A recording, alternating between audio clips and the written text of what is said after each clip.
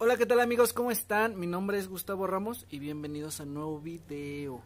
El día de hoy vamos a realizar lo que es un nido de forma barata y con utensilios de casa, ¿sale? Para que no nos salga tan caro lo que es el nido de metal que todos conocemos, que comúnmente está como en sus 80, 70, 60 pesos.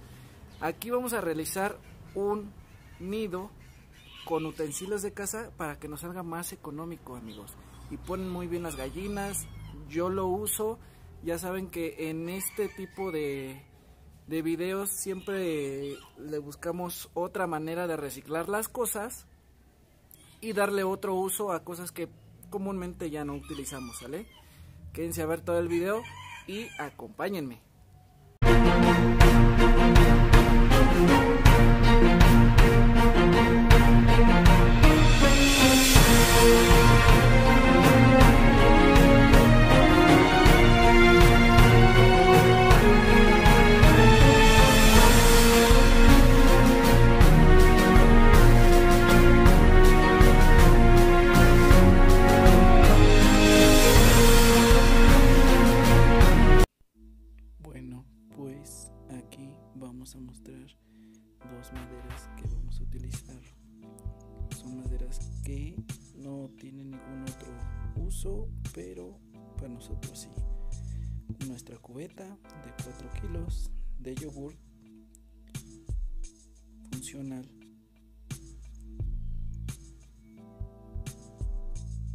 Unas pinzas cualquier pinza, no importa el tamaño ni la forma. Un desarmador, un metro y un lapicero. Dos pijas tienen que ser de madera, forzosamente de cruz o planas, las que ustedes quieran. Un taladro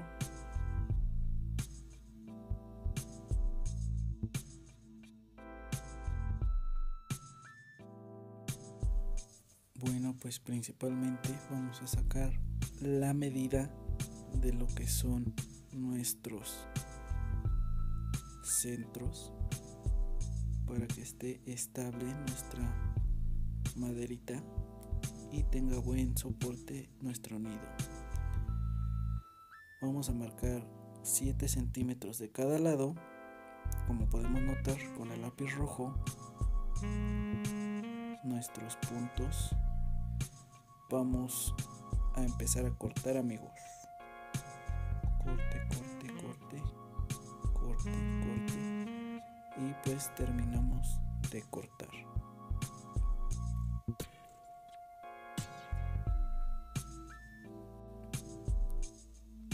vamos con el otro lado a cortar corte corte corte corte corte corte corte corte corte listo. Ahí está amigos. Vamos a medir la otra tabla para que tengan la misma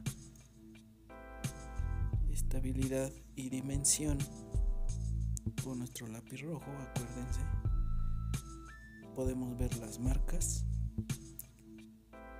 Y aquí está la otra. Vamos a colocarla en nuestro bote o cubeta y marcarla de la parte de abajo para así saber el lugar donde nosotros la vamos a colocar. Ya teniendo esto podemos notar las marcas que nosotros acabamos de hacer. Una de la otra. Como nuestro lápiz rojo no marca el plástico podemos colocar con un plumón ya sea permanente o de agua nuestras marcas donde vamos a hacer o realizar los orificios. Y en nuestra madera realizamos la misma operación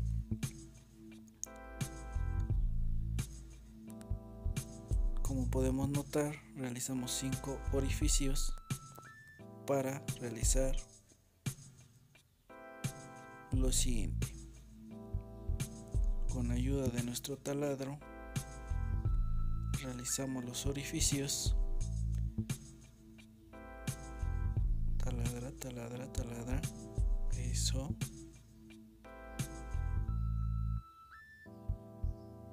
Los vamos realizando uno por uno. Como podemos notar. Es muy fácil muy fácil de hacer y por consiguiente realizamos lo mismo en el balde, cubeta o de agua. Tenemos nuestros tres orificios en la cubeta de yogurt para por consiguiente colocar la madera, nivelarla uno del otro. Tienen que coincidir los orificios con los de la madera. Pueden ver, coinciden. Por consiguiente, con un alambre y nuestras pinzas cortaremos un trozo pequeño de manera que nos ayude a sujetar la madera de la cubeta. Realizaremos en forma de U nuestros alambres cortados previamente. Lo doblamos por la mitad y tiene que quedar en forma de U. Los tres. Para ayudarnos a sujetar lo siguiente.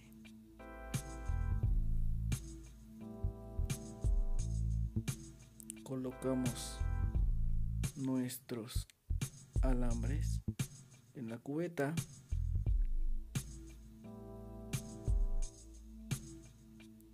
madera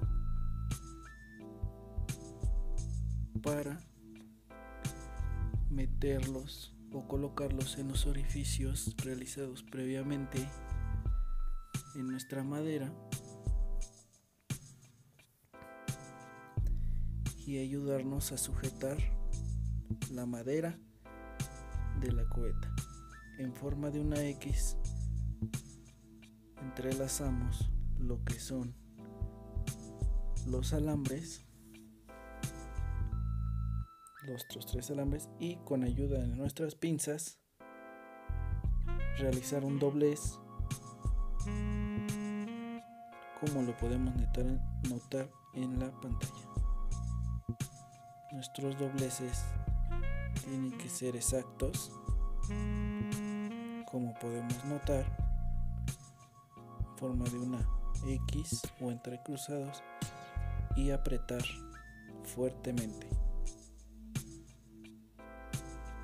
para lograr alcanzar una firmeza en nuestra cubeta con la madera como se alcanza a notar, tenemos una estabilidad en nuestro nido. Y esto es por la madera y los dobleces. Recuerden amigos que los dobleces o las puntas las tenemos que cortar o doblar hacia adentro.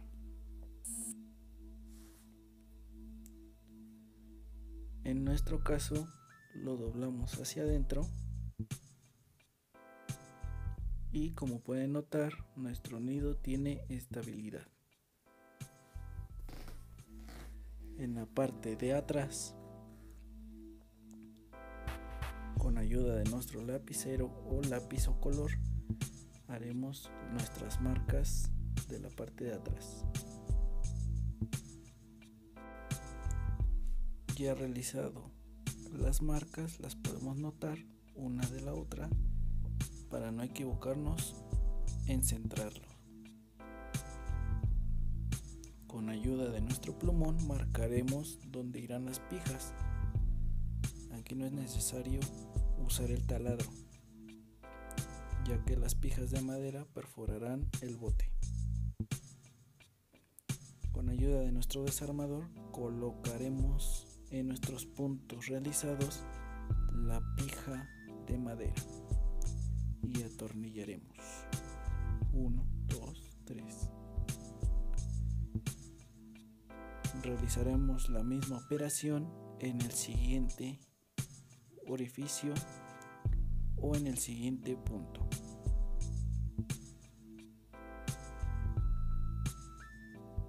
Así quedan nuestras dos pijas y podemos notar la estabilidad de nuestro nido sin ningún problema. Podemos colocar nuestro nido en una base inferior para que no haya problemas en cuestión de movimiento por parte de nuestros animalitos.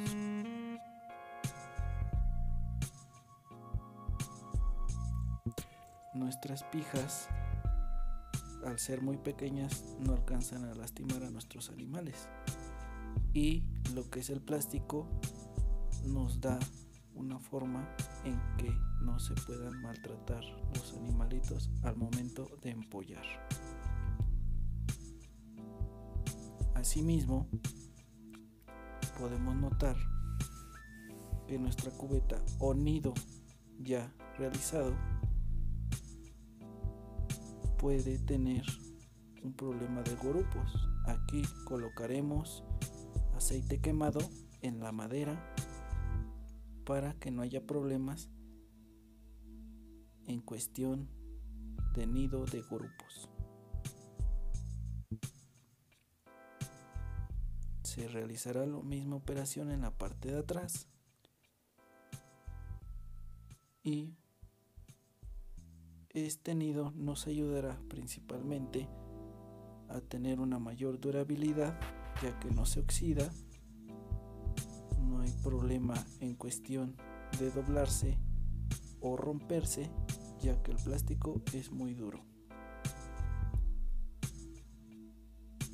Se puede lavar fácilmente y poder alzar y mantenerse durante varios años.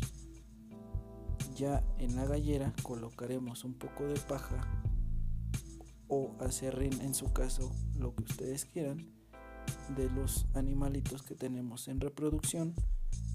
Un huevo de plástico que nunca es malo para evitar el picaje de este. Se coloca el huevito.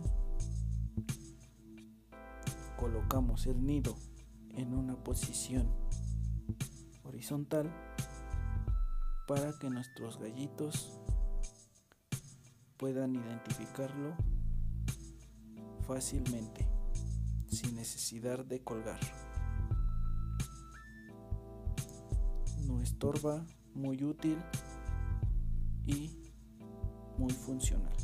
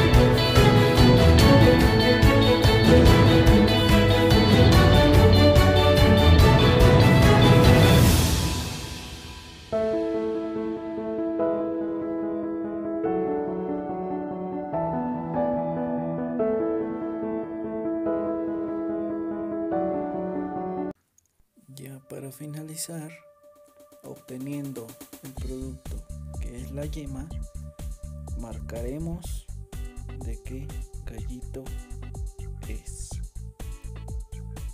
En este caso fue del gallito búlico que vieron anteriormente.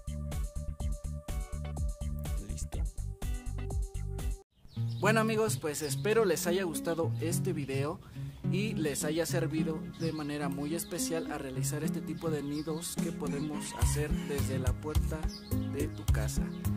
Y sin más por el momento, hay que reciclar y ahorrar mucho dinero. Sin más por el momento, aquí les dejo ese video y acuérdense de suscribirse a nuestro canal, somos la familia más dura de YouTube y Asimismo, activar la campanita de notificaciones para que cuando nos subamos nuevo video puedas verlo principalmente tú, tú, tú, tú amigo que nos estás viendo desde atrás de esta pantallita. Y asimismo comentar, comentar si te sirvió este tipo de datos, si quieres más videos de estos. Esto es lo que yo utilizo para ahorrarme unos cuantos pesos ya que pues la economía está un poco difícil. Ajá. Asimismo, recuerden que me pueden seguir en Facebook, estoy como Gustavo Ramos en Facebook o nuestra página de Facebook se llama Kikirikis de Gustavo Ramos, me parece. También tenemos Instagram que es Gallo, Gallos el Sueño Gustavo Ramos, ¿sale? Sin más por el momento, gracias amigos y pues nos vemos en la próxima.